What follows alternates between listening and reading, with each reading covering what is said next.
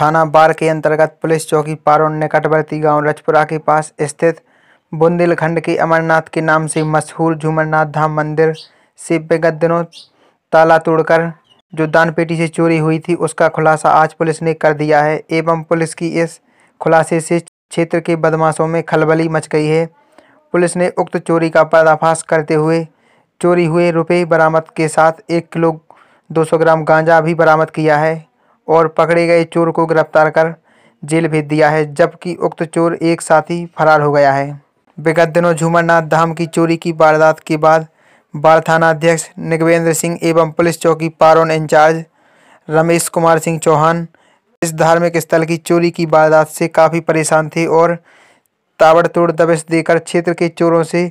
पूछताछ करने में लगे हुए थे, कि अचानक पुलिस को मुखबिर से सूचना मिली कि ग्राम बटवाहा जाने वाली नहर की पुलिया के पास एक व्यक्ति बैठा हुआ है, जो कि बाहरी प्रतीत हो रहा है और वह आसपास के गाँव का रहने वाला नहीं है। पुलिस ने तुरंत सूचना के आधार पर बटवाहा की नहर की पुलिया के पास से एक व्यक्ति को पकड़ा, जिसके पास एक बोरी भी बरामद हुई।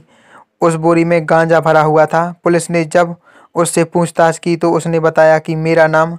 पीतम सिंह पुत्र मानसिंह ग्राम हरिद्वार थाना नोट जिला दमोह एमपी है और उसने बताया कि रजपुरा थाना बार निवासी राजकुमार पुत्र रामदास अहरवाल के साथ मिलकर झूमरनाथ मंदिर की दान पेटी तोड़कर पाँच सौ रुपये की चोरी की बात स्वीकार करते हुए उसने बताया कि आपसी बंटवारा में दो सौ रुपये मुझे और तीन सौ रुपये राजकुमार ले गया था।